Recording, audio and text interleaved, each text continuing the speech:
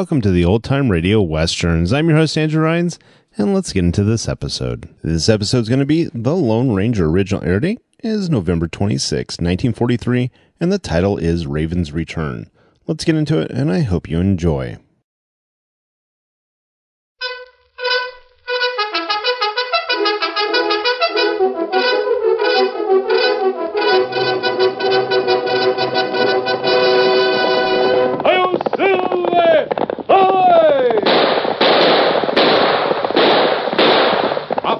Horse with the speed of light, a cloud of dust, and a hearty Hi-Yo Silver, the Lone Ranger.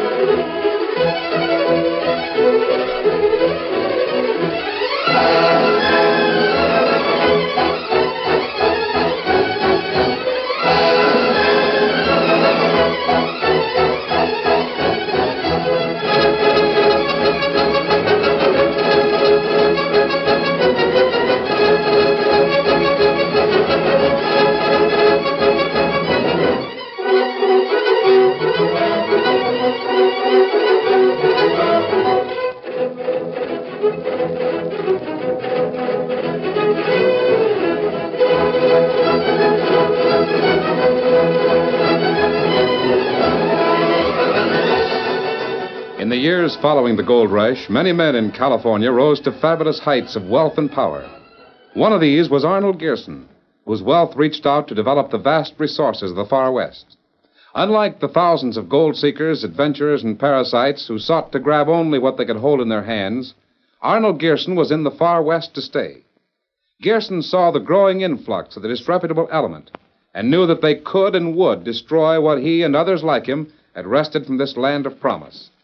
He decided to strike at the heart, the infamous Barbary Coast. In an effort to stamp out the viciousness, Gearson sought for and found the Lone Ranger. This masked rider of mystery, though reluctant to leave the plains and mountains of the cattle country, answered the call and soon found himself fighting a new type of criminal in the Barbary Coast. Return with us now to those thrilling days of yesteryear. From out of the past come the thundering hoofbeats of the great horse Silver. The Lone Ranger rides again. Come on, Silver! Faster, big fellow! Hi-Yo Silver! Away!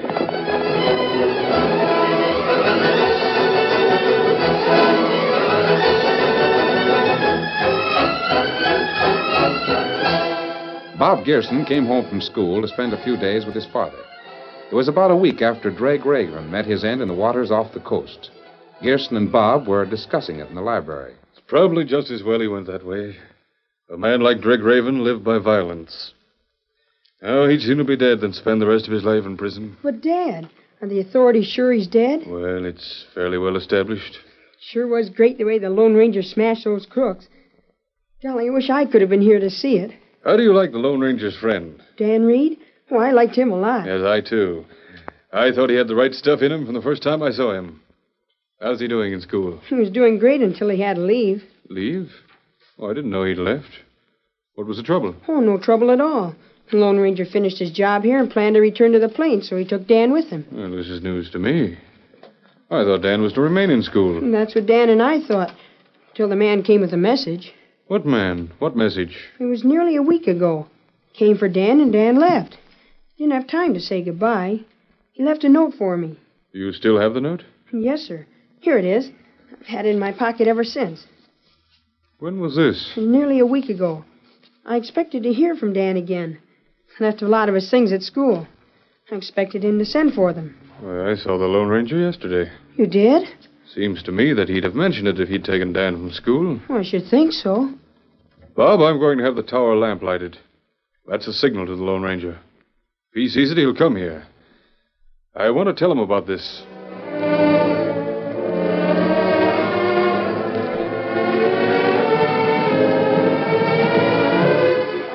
Meanwhile, as night gathered in the hills across the bay, Dan Reed made a snug camp, employing those things he'd learned from the Lone Ranger and Tonto. The man who watched him at work had a mean face and a surly manner, yet he showed approval. I guess I knew what I was doing when I brought you along. You sure are a handy kid to have around. There's nothing to make in a camp. Not if you know how to go at it. Now, me, I don't know how. Never camped in the woods in my life. Is that the only reason you got me? Yeah, so don't worry, kid. If you behave and don't make me no trouble, I'll let you go as soon as I'm through with you. Look here, mister. Well, Just who are you? that needn't concern you. Well, you won't get away with this. Sooner or later, the Lone Ranger will find out about it. Then I guess you know what'll happen. Well, whatever happens, kid, you'll be the first to be hurt. Remember that. This masked pal of yours better not press me too hard. You can't get away with it, mister. Let me put you straight. I've gotten away with so much already that I ain't worried. There was a crook named Raven. He thought he was too strong to be trapped, but he wasn't. Tell me more about him. The Lone Ranger got him. He drowned in a bay trying to escape. What if he hadn't drowned in the bay? He'd have been caught.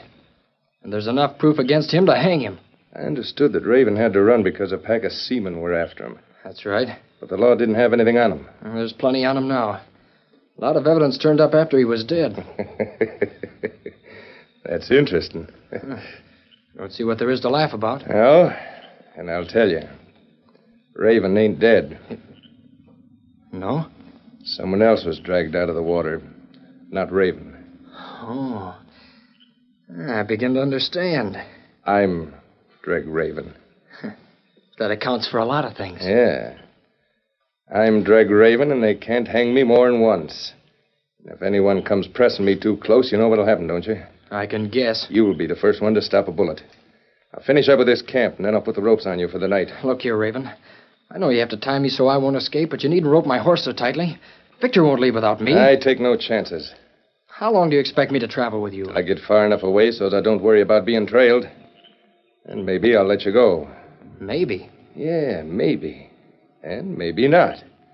That all depends. You won't let me go. You don't dare. You know what I'll do. I'm the only one who knows you're still alive. I might get soft hearted. No, I don't count on that. I guess I've made enough camps in the last few days. Now you can make your own camp. Figure it out for yourself just how to live in the woods. Oh, so you're going to mutiny, huh? Call it that. Well, I know how to stop that. See this stick? Go ahead. Lay it on me and see how much good it'll get you. On you? Oh, oh, no. That ain't my plan. I'll lay it on your horse. Watch. No. No, put that down. Well, how about it? You follow my orders, or do I beat your horse? Don't hit Victor. All right, then. Get to work. Don't try making any more threats of mutiny.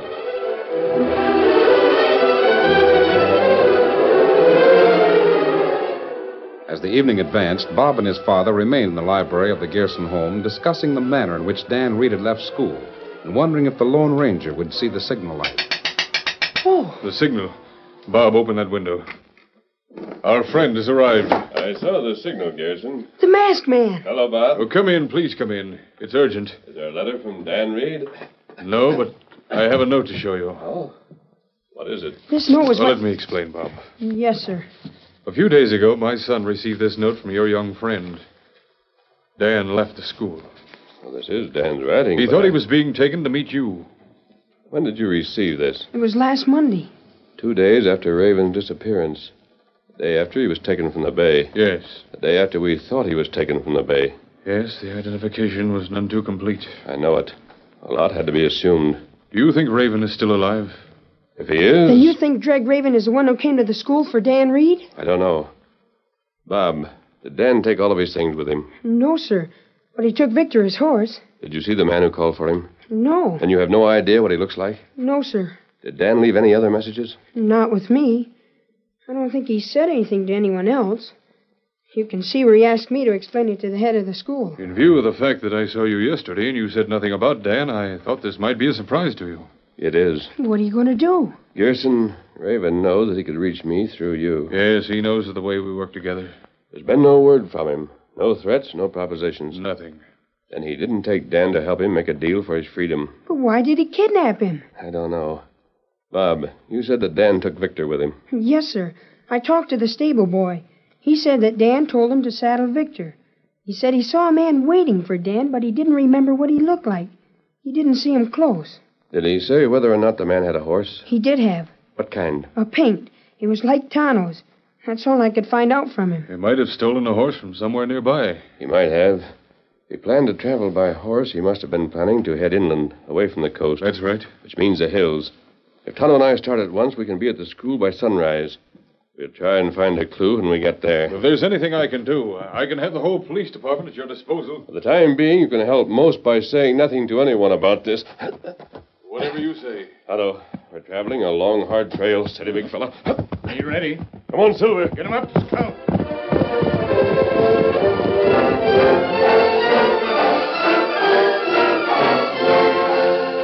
Sunrise found the Lone Ranger and Tonto at a small stream near the town where Dan's school was located. While the horses rested and drank from the cool mountain fed brook, the masked man expressed many of the things that had been running through his mind during the night ride. On one side of us is the coast. Raven wouldn't have gone in that direction. No. Him not got boat. And they wouldn't have taken horses. Now, north of here, they'd got to San Francisco, the one place Raven wants to avoid. That right. If you were going to try to hide from the law, Tonto, which of the remaining directions would you take? Oh, me go that way. Why? Well, 'cause law figure me go to hills. Raven wouldn't figure as you. He's not a woodsman. He's not an outdoor man. He'd think the best place to hide would be found there, Oh, maybe that's right. and he has Dan with him. Dan's learned enough woodcraft to make a comfortable place to live in the wilderness. That right. Dan wouldn't have to travel very far before he found that Raven wasn't taking him to meet us. In that case, Dan would know that he'd been abducted. He'd do something about it. Ah, him try plenty hard leave trail for us to follow. We can just get started on that trail. Wait. What is it? He put ear to ground. Me think me hear hoofs of horses. Do you? Ah, several horse come this way. Come a trot. It's early for men to be in the saddle around here. No ranches or. Look, that way. Oh, yes.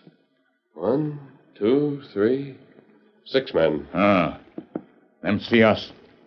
Them stop there. I'll look at 'em with the binoculars. What you see? Strange. One of them is looking at us with binoculars. Who feller? You know him? Can't quite make out. They're coming this way. Oh, They have guns in their hands. No, no. One of them wears a sheriff's badge. lawman. Maybe posse, huh? Don't get your gun, but be ready for a fast getaway. Better mount up. Ah, be ready. Raven just smart enough to have made plans that would hinder our search for him. Uh, what him do? Oh, wait, Tonto. Get your hands high and keep 'em that way. That's the sheriff. Don't make a fast move or we'll shoot.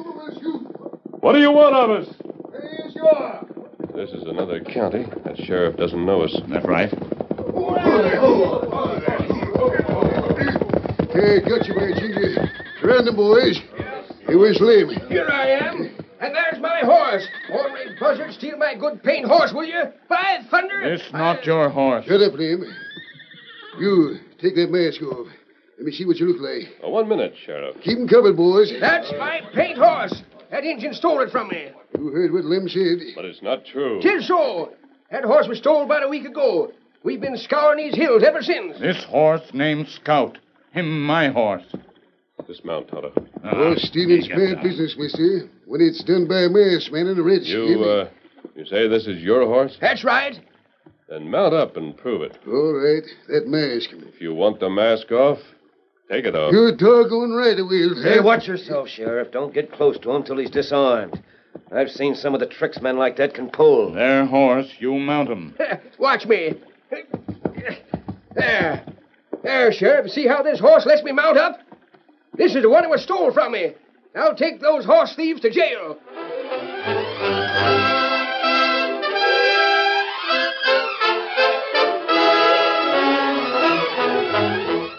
Curtain falls on the first act of our Lone Ranger story.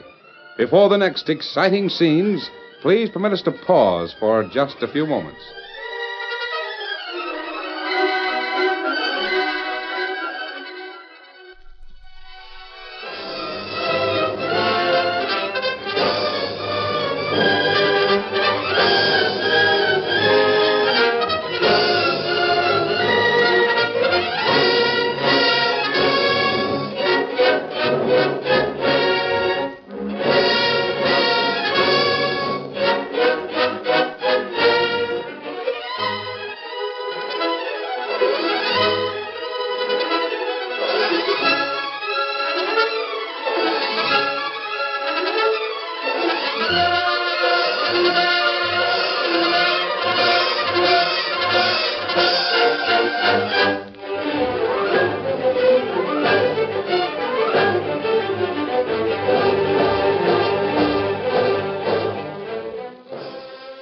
To continue our story. When the Lone Ranger and Tonto paused near the school from which Dreg Raven had taken Dan, a sheriff's posse approached with the surprising accusation that Tonto was riding a stolen horse. The man who claimed the horse climbed to the saddle while Tonto held Scout's head. See, Sheriff? See how this paint lets me sit astride him? Sheriff, that horse is called Scout. He's belonged to Tonto for a long time. Either this man is mistaken or he's willing to identify any horse so he can replace the one that was stolen from him. I've known him a long time. He's Scout not let the- him mount because Tonto held him. Now, if Tonto releases him, Lem or nobody else can stay in that saddle. That ain't so. Let him go, Tonto. Hey! Help me! Get me off! Speak to him, Tonto. Steady, Scout. Steady, fellers. Steady. Quiet, feller. Yeah, Quiet. boy, sure obeys a redskin. you know how a redskin can train a horse, Sheriff? In the time he's had this paint, the Indians taught him new tricks. That's why he tries to throw me. If we stayed here long enough, it would be simple to prove that Tonto has owned that horse for a long time. But we can't stay here. Hey, Thunder, you're sure going to stay. Now, boys, disarm him. Take off that mask. Sheriff, remember the evidence we found in the stable? That Indian belt? I said at the time that I'd bet a redskin was a thief. I remember. Well, what are you waiting for, boys? Disarm him. Oh, hang it all, Sheriff. The first man that gets close will be in a peck of trouble. Sheriff, you've been searching for a week. That's right. In that direction? Yep. Did you search the hills over there? Nope. We figured if a thieving critter went that way, it could go on forever. We knew there'd be no use going that way. We found you right here where the horse was stolen. Ready, Tonto. You ready? Lem, I'm sorry you lost a horse. Maybe we'll find it for you. Tonto. Hello. Hey, hey, let me go. Let me go. Grab Lem. Here, Sheriff. Catch him. Lem, Lem, get out of my way. You're on top of me. Get him up, Scout. Come on, Silver.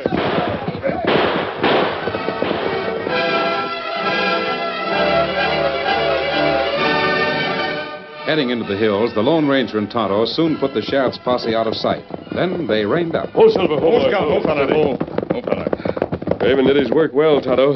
Uh, He left an Indian belt to make sure the lawmen would suspect the first Indian they found astride a paint horse. That right. The sheriff said he'd already searched in the other direction. If Raven and Dan had gone that way, he'd have found some sign of them. Uh, Raven not know how to hide tracks. Him not woodsman. And Dan wouldn't show him. I'm sure Dan will do all he can to leave a trail. We'll ride a straight line between the school and the foothills. Somewhere on that line, we'll cross the route that Dan took. Ah. Come on, Silver. Get him up, Scout.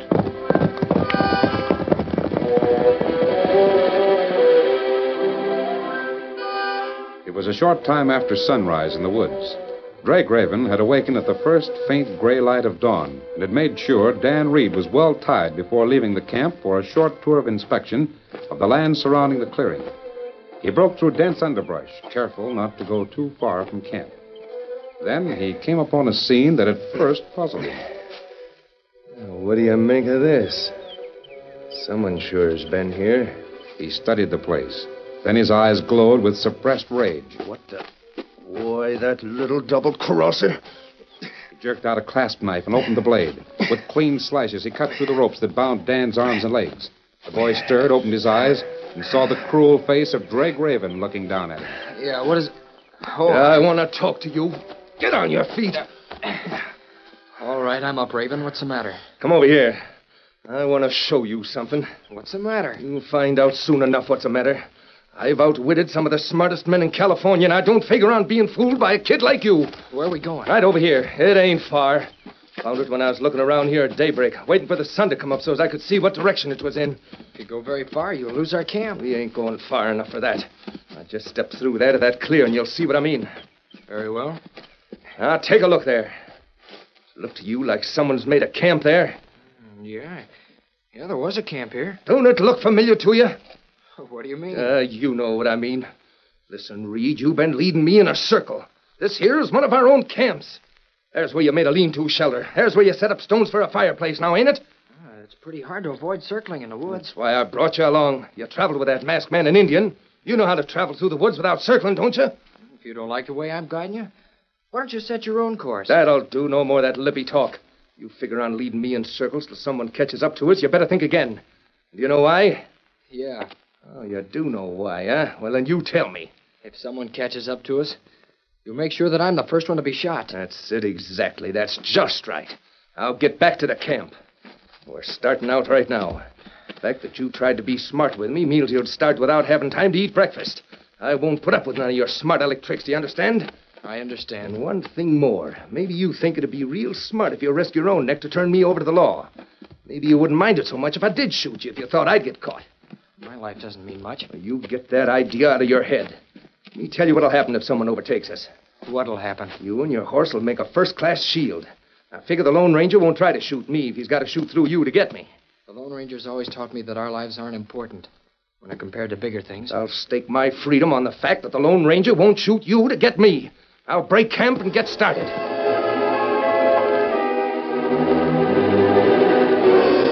Dreg Raven drove Dan hard all morning, but the boy's courage never faltered. He took every opportunity to leave tracks that could be clearly followed.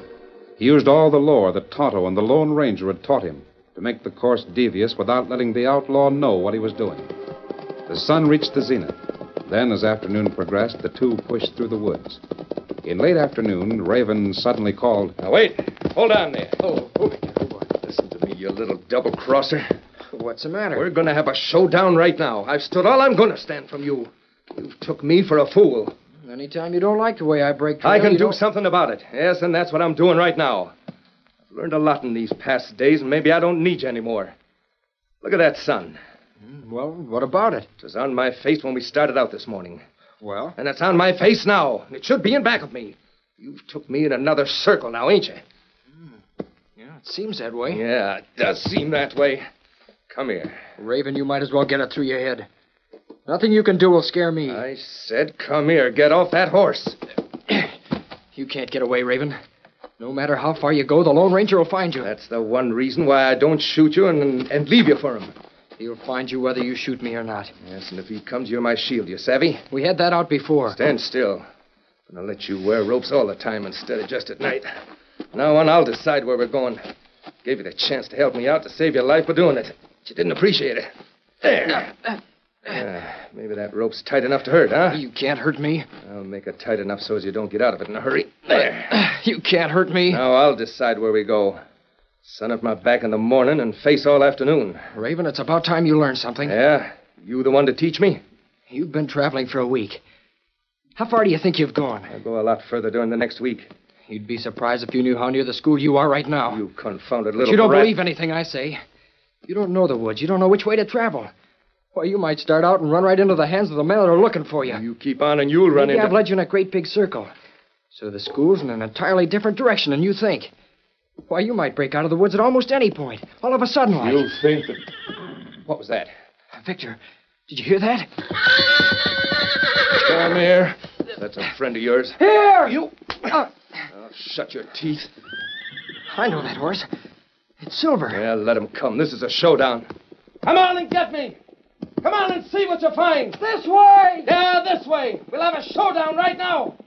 Struggle to get free and I'll knock you out. I'll show you. Well, come on. Come on and get me.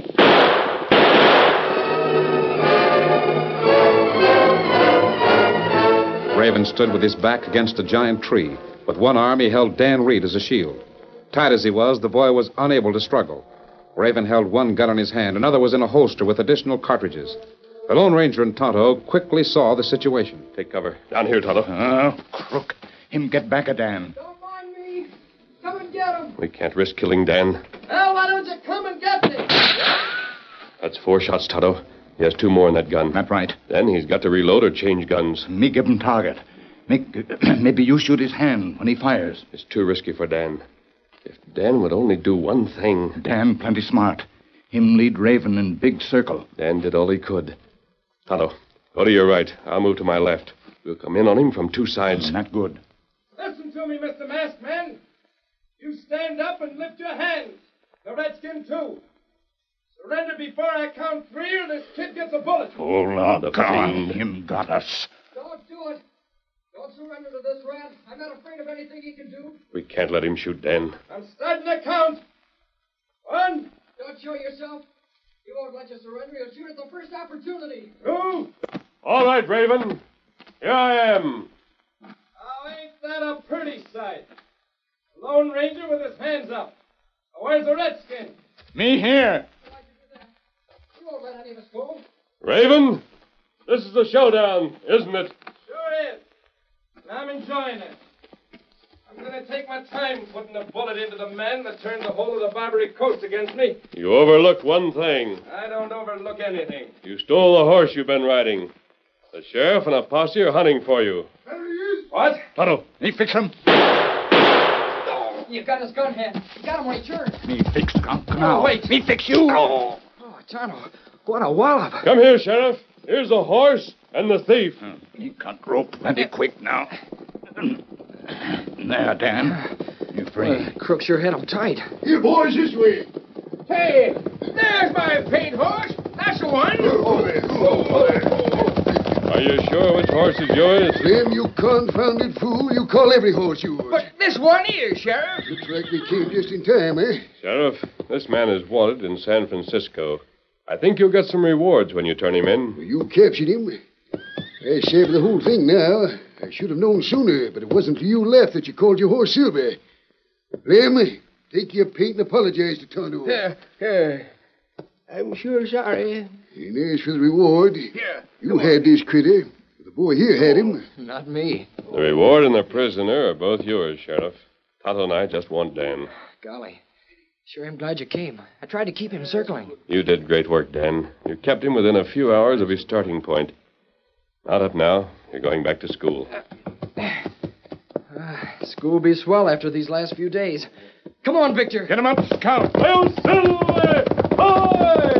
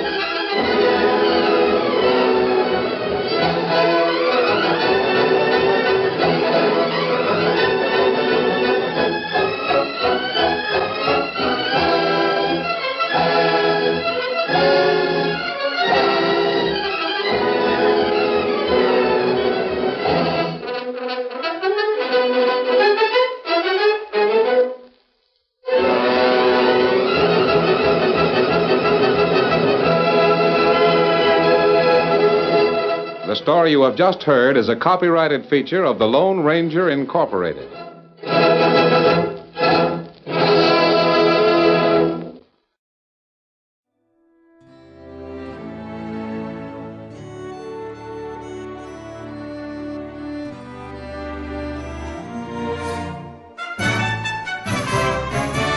This has been a presentation of OTRWesterns.com, and we hope you enjoyed. Please take some time to like and rate our shows in your favorite podcast application. Follow us on Facebook by going to otrwesterns.com slash Facebook. Join in the conversation by going to otrwesterns.com slash Discord. And don't forget to send us an email, podcast at otrwesterns.com. This episode is copyright under the attribution non-commercial share alike copyright. For more information, go to otrwesterns.com slash copyright. Have a great day, and again, thanks for listening.